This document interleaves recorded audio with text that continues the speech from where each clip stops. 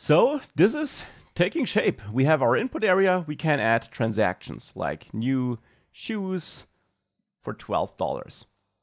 Now there are a couple of things I want to change though. For example, when I enter my amount here, it would be nice to have a keyboard where we can only enter numbers and where we can't even enter text here. In addition, it would be nice that when I hit this button here, this confirm button on my inputs, I do actually trigger add transaction if a value for title and for amount is provided. And last but not least here, when I output my amount, it would be nice to always see two digits. Not more than that and not less. Because right now I can also enter something like this. And of course that looks super ugly. So to fix or to change this, let's first of all go to new transaction dart, which is where we have these inputs. And to make sure that we can only enter numbers on the second input here, and there you can change the keyboard type, and that takes a text input type, which in the end is a class. And there you have a couple of static properties again. Again, static properties on classes. That's a bit like enums, just having more complex values than just numbers. And there you can set this to date time, which is a perfect input if user should enter date email address, which is great for entering email addresses because the at sign is easily available, and so on. But here I want number. And with that, if we now save this, if I tap in here, we now get a number keyboard, which is of course good.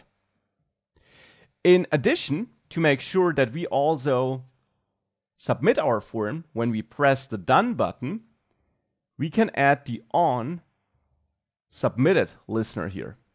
Now I want to do the same as I do down here, so I can of course simply copy that function, but if you find yourself copying a lot of code, it's always a good idea to refactor it into a single named function, which you then can call from all these places, so that when you ever change something in that function, you don't have to change it in three different places, but only in one place.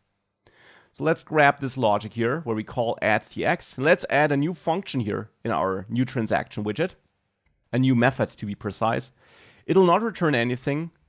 I'll name it submit data. The name is up to you though. And in there, I will call add tx and forward the title controller and the parsed amount. Now down there, I call submit data therefore, or I point at it without parentheses because I don't want to execute it in line. I only want to pass a pointer at this method so that it is executed when the button is pressed. However, here on submitted actually gives us the value the user entered thus far as a value. So here we have to use a slightly different syntax, provide an anonymous function where we get that value. And I don't really use it, but still I need to accept it. Otherwise Flutter will complain. An alternative would have been to not use an anonymous function here, but accept that value up here, then this would also be fine. You just need to have a function that in the end reacts to onSubmitted that does take that value even if you don't use it. But since I don't plan on using it, the approach I like more is to not take the argument up here, but instead use an anonymous function down there and add an underscore here, which is kind of a convention, not a hard rule, but a convention to signal I get an argument, but I don't care about it here. I have to accept it but I don't plan on using it. So instead of giving it a more meaningful name, I add a underscore here to indicate, yeah, I don't use it. So now this is the code I can use for on submitted on all my, or on both of my text fields here. And also when the button is pressed down there, I want to call submit data. Another advantage of not accepting a value in submit data is that here for the button I wouldn't get one. So here I would have had to manually uh, provide one uh, by calling this with something like uh, this if we edited submit data to accept a string.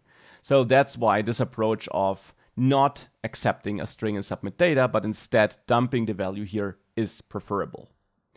So now we submit that whenever one of these buttons is pressed. Of course, the button could be pressed before both a title and an amount have been entered. So what I'll do first is I'll extract that data. Entered title is title controller.text. And here I'll have my entered amount, which is amount controller.text. And I'll do the double conversion right here already. So double parse. I'll call it here. Down there, I will therefore just refer to my entered title and then here to the entered amount. But first of all, I want to check whether we do have values in here. So I'll add if entered title is empty, so if the user did not enter anything there, or if entered amount is smaller or equal to zero, which also would be invalid, I also don't want negative amounts, then I'll just return here. And if I just return here, then this code will not execute because return also stops the function execution. It means the code after return is not reached. That's also something important. Return stops the function execution. This code is not reached if this here is called. So if we make it into the if block, we'll not try to add a new transaction. So therefore here, if I hit add transaction with no values entered, I actually get an error because I try to, well, convert something to a double which is not convertible. But if I try to, for example, submit minus one here, and I hit add transaction, I don't get an extra error, but we also don't get the transaction. So stopping this works. The same is true if I enter a valid amount for my amount here, but not for my transaction. If I hit this done button or add transaction, this also doesn't get added. So our little dummy validation here works.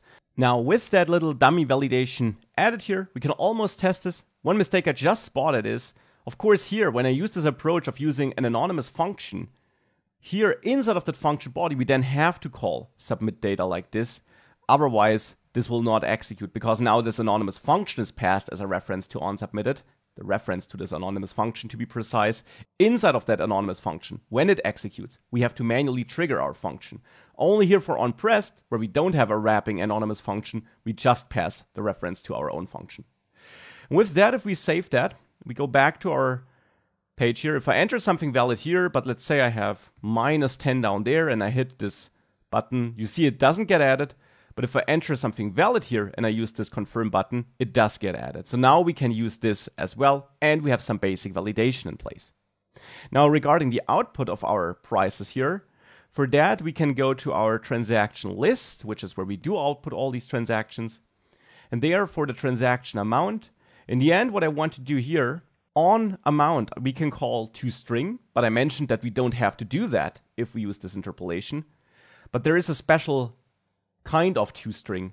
You can use toString as fixed and then define how many decimal places you want to show, for example, 2.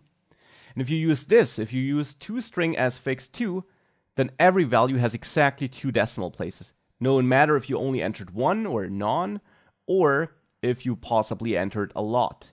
Then you see this gets rounded. So this is really convenient to have a nice user interface where we don't have too long numbers or too short numbers.